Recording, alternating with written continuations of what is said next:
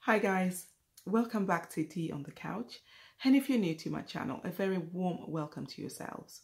I hope that you have had a fantastic Sunday, whatever you were doing.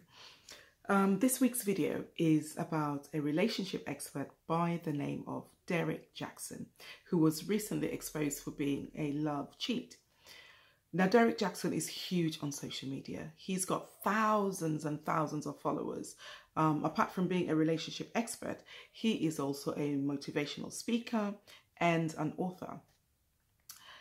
Well, but it seems like um, while he was busy giving us ladies advice on what type of guys we should date, those to avoid, and also completely trashing black men, he was busy playing away from home with three different women. Um, somebody please make sense of this. How disappointing. Um, I followed this guy religiously, um, listening to what he had to say intently and just hanging on his every word.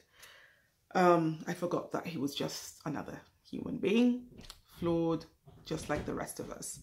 I allowed this man to think for me, to choose for me, um, as if I didn't have a brain in my head, and also knowing full well that I am the only one who is responsible for creating my own joy and happiness.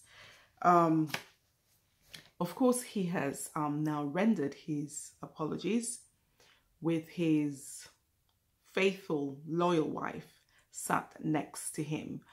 Um, they say that they have processed this, they have dealt with it, and they're ready to move on with their marriage with God by their side. Now, what I found to be interesting was that um, a lot of people on social media were making disparaging comments about um, his wife. Uh, they talked about her frumpy look. Um, they questioned why she would stand by a man who is um, publicly admitting to cheating on her. Uh, okay, so she is not the first woman who will stand by a cheating man, and she is definitely not going to be the last woman. And what is also interesting is that while she is being dragged through social media, Derrick Jaxn has gained thousands more followers, thousands and thousands um, more followers. He also has a book coming up soon, and I'm sure lots of people are going to buy it. Now, we don't know um, if his wife has dealt with this situation because during, you know, their confession video, Derrick Jaxn did a lot of the talking.